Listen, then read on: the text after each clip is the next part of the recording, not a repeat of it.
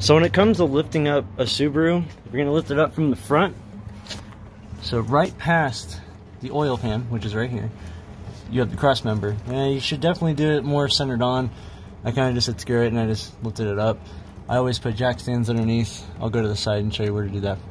For there, it's generally pretty easy. Oh, I spilled my soda. Oh well. So I prefer to put the jack stands on the frame itself.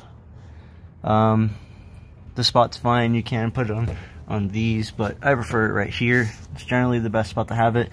I always leave a jack underneath as extra support. If you don't have a floor jack, it's going to be hard to do. You'll have to lift up from the sides first.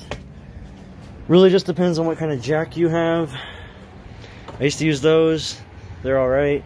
I went ahead and just bought a floor jack because they're a lot easier. I know the front bumper's all messed up and whatnot. But it is what it is. It wasn't I didn't do that. That was previous owner. He definitely tore it up though. Like, yeesh. Like, come on, man.